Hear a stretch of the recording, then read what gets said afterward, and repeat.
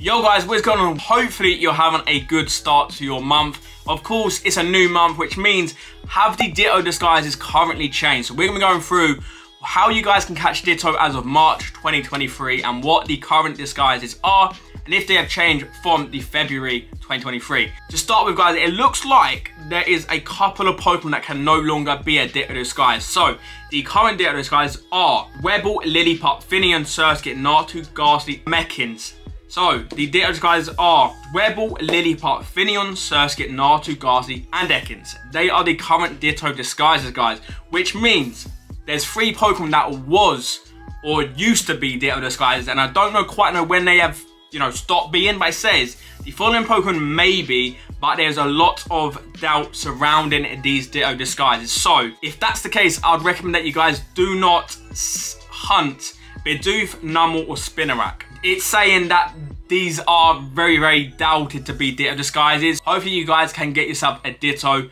Please note that Ditto can be shiny. The way Ditto shiny works is it's on its own.